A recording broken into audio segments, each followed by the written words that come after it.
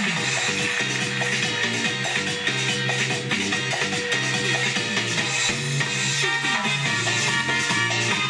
fin he vuelto. Gracias a quien me quiso unir porque me hizo más